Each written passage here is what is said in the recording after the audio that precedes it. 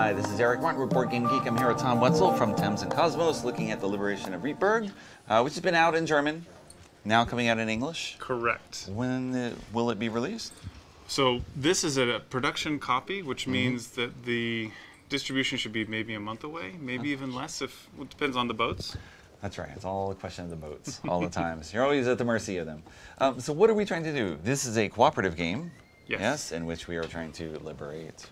Rietburg. Yeah. Huh? So if you're familiar with Andor, which I am, it's one of my favorite co-op games. Uh, in fact, when I started working for the company, it was one of the games I was very excited about. So I was a little worried when I first heard about this because this is um, a game in the Andor world, but they've cut the time down from Right. about two hours to 35, 45 minutes. And it's like, Okay. that's not going to work, right?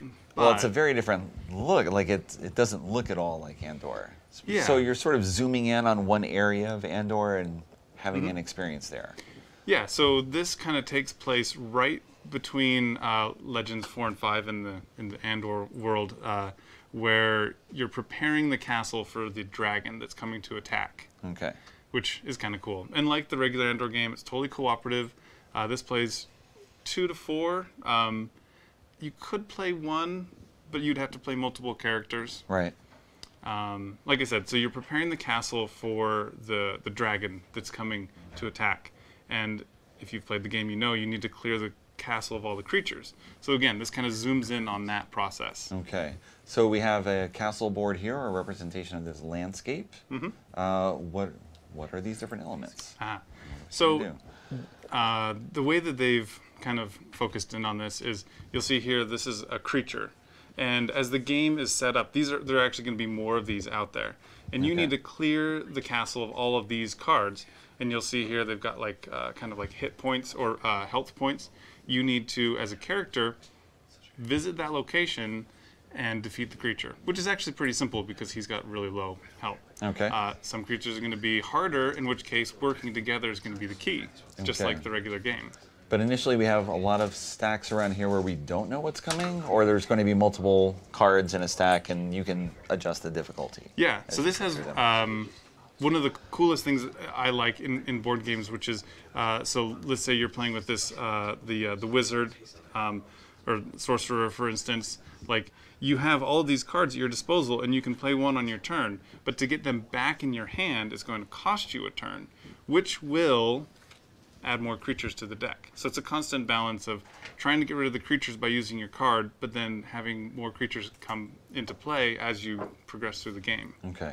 So these uh, decks represent the different characters, and each character is going to have different combinations of Mm-hmm. things that they can do with options for how they're going to use each of these cards. Yeah, and that's one Okay. of the ways that I think it works so well as a co-op is because each player has a unique ability, and so as you're traveling around, you know what you can do, and you can be like, all right, I see like you're already there. If I come join you, I can actually add some hit points to your total. Yeah. Anyway, so it's very puzzly. It's a Euro game, puzzle co-op, but it plays in like i said 35 45 minutes and the setup is super simple as well because as you can see it's mostly cards instead of um, the standees and, and a bunch Right. of different huge board which i personally love but this i see is very accessible Okay. What's the nature of a turn? Am I sure choosing a card, playing it, and that's that's it? yeah so uh, the end goal is to like i said uh, clear the castle of all the creatures but also these doors with the question mark there's six of them and you need to complete four of them now you have to clear let's say uh, let's say you've defeated this creature which was a tough one he goes in like your trophy trophy case Okay. um, and then this card gets revealed. You now know if you want to complete this task, you have uh, Oral the Bard, and you must pay for each uncompleted task card. So you get money in the game by defeating creatures. You get enough money, you can complete this task, and that's one of the four that you need to do. Or if you're not even close to it, you just go do other things. Exactly. Mm-hmm. And that's hanging out there waiting. Maybe you can make it happen. Yeah, so your character is actually, let's see, on this board. And if I play, say I play this card, Okay. Let's put it up here.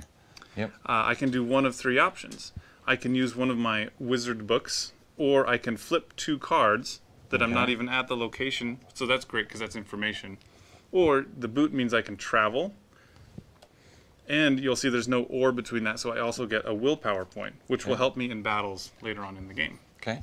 Um, and each character, like I said, is totally unique. Like the archer has all of these, um, uh, what are they called again? The quills. Quills, yeah.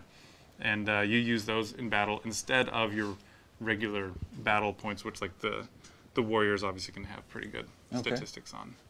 Okay.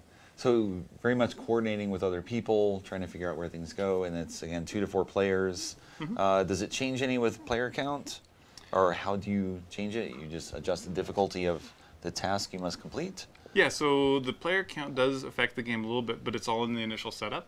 Okay. So when you set up with like a six-player game, you're going to put more of these creatures out on the board initially. Okay. But once the game gets going, it's pretty much the same. Okay. Yeah.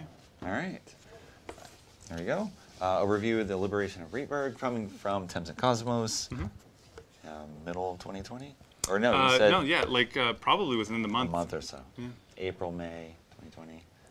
Give some some space for transportation issues. Very, very accessible game. I'm really excited about it. All right. Thank you very much, Tom, for the overview. Thank you.